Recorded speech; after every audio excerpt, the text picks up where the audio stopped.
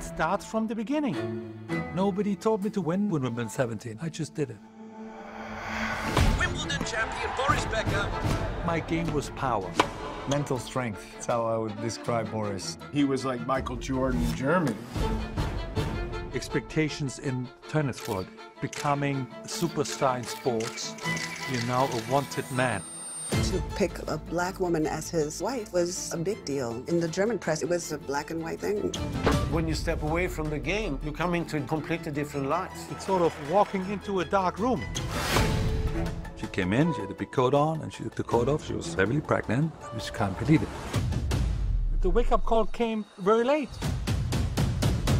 Boris Becker is facing two and a half years in jail for hiding assets during bankruptcy. I've hit my, my bottom. That's not the end yet. There's going to be another chapter.